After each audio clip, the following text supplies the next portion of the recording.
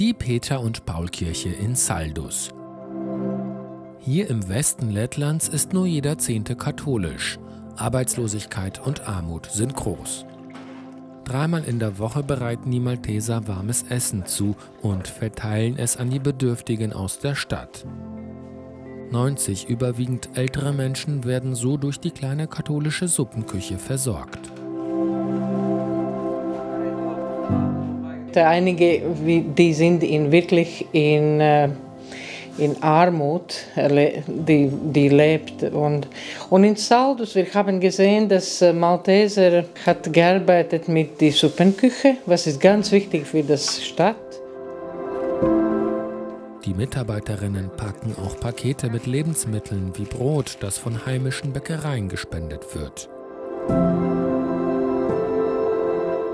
Auch ukrainische Flüchtlinge werden von der Suppenküche versorgt. Und Kleidung aus der Kleiderkammer für bedürftige Menschen wird gerne entgegengenommen. Die Pakete und das Essen werden von dem erst seit zwei Jahren in Lettland aktiven Hilfswerk ebenfalls eingepackt und in den Bonnibus verladen. Dieser war in Deutschland bislang als Gemeindebus im Einsatz. Hier in der Diaspora wird der Bonibus des Bonifatiuswerks nun von den Maltesern genutzt, um in den zersiedelten Gebieten Lettlands zu den Menschen zu gelangen. Allein aus eigener Kraft könnten die Malteser in Lettland Angebote wie diese finanziell nicht aufrechterhalten.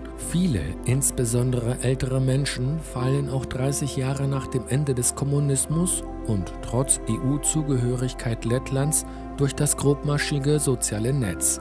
Die 87-jährige Renata Drovinia wird daher von den Mitarbeiterinnen der Suppenküche aufgesucht. No, ja, Mann, ich selbst kann kaum noch kochen, auch selbstständig Holz holen kann ich nicht.